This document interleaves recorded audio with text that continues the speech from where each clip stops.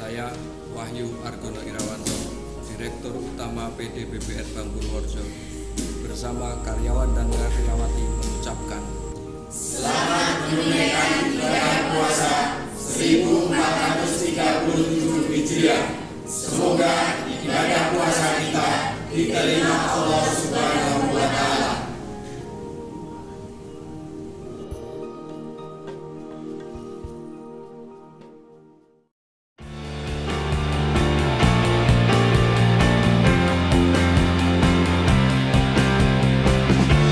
Kelulusan sekolah yang biasanya dirayakan dengan pesta kelulusan atau pentas seni dengan menghadirkan artis atau band mahal. Namun hal itu tidak dilakukan oleh siswa lulusan kelas 9 SMP Negeri 2 Purworejo.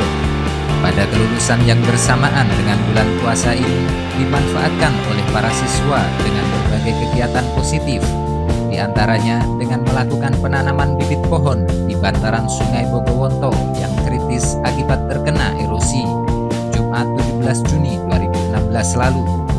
Dengan membawa peralatan sederhana seperti linggis dan cangkul kecil, serta ratusan bibit pohon, sekitar 30 siswa lulusan SMP Negeri 2 Purworejo menyusuri Sungai Bogowonto untuk melakukan penanaman bibit pohon. Mereka sengaja memilih bantaran sungai yang terletak di Desa Piji, Kecamatan Baglen, karena bantaran sungai di desa itu terancam abrasi karena arus sungai yang deras pada saat musim penghujan. Jika dibiarkan, dikhawatirkan sungai akan melebar dan mengurus lahan pertanian milik warga sekitar yang ada di pinggiran sungai Bogowonto. Kepala SMP Negeri 2 Purworejo, Daryanto SPD MPD, mengaku bangga dengan apa yang dilakukan para siswanya. Ia juga mengatakan bahwa kegiatan ini merupakan inisiatif siswa dan pelaksanaannya juga diserahkan kepada siswa, termasuk sumber bibit pohonnya. Dalam hal ini, siswa dilarang untuk meminta dana dari orang tua. Siswa harus mengupayakan sendiri, seperti meminta bantuan dari instansi perhutani, dinas pertanian, maupun pihak sponsor lainnya. Dalam acara itu, siswa berhasil mengumpulkan sebanyak 250 batang bibit yang ditanam di sepanjang bantaran sungai. Menurut Safira, siswa lulusan SMP Negeri 2 Purworejo yang ikut dalam kegiatan itu mengatakan bahwa kegiatan tersebut merupakan kegiatan pertama kalinya dilakukan oleh para siswa. Kegiatan kita kelas 9 ini eh, sebenarnya kelas 9 ini mengadakan pensi pentas seni tapi karena ini bulan puasa pentas seni ini diadakan diganti bakti sosial. Nah, bakti sosial yang pertama kegiatannya adalah penanaman bibit ini eh, ada 100 bambu 50 mindi dan 50 mauni sumber dana bukan dari sekolah tetapi anak kami kami latih untuk mandiri sehingga anak lulusan SMP SMP 2 ini tidak hanya pintar akademik tetapi bisa berorganisasi dan bisa berwira swasta. Nah, ya, dana yang ada ini mencari sponsor. Kami hanya membentuk kepanitiaan, kemudian silahkan kamu mandiri.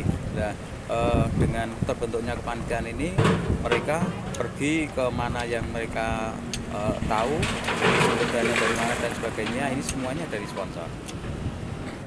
Kenapa memilih lokasi ini, Pak?